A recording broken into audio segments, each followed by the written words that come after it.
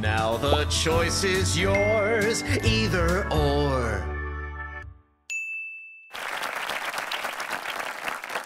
Hi everyone, Amy here, and sadly, no Ewan this time.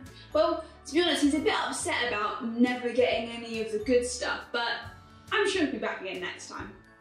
Anyway, we found a lovely temporary replacement, so meet my lovely West Highland Terrier, Scotty! Hi Cute, isn't he? Now, as cute as he may be, Scotty and I don't agree on everything. So can you help us settle a disagreement? You see, I'm all for digital downloads when it comes to listening to music. I mean, it's so easy finding your favourite tunes on your phone. But I disagree. I'm a little more traditional and I think good old vinyl is best.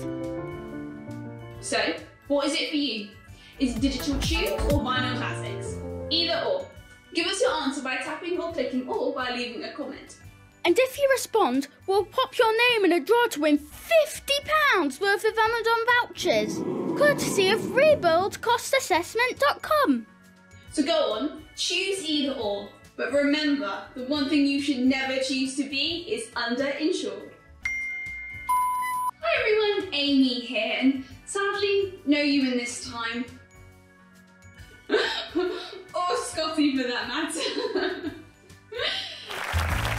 Yes, the choice was yours, either or.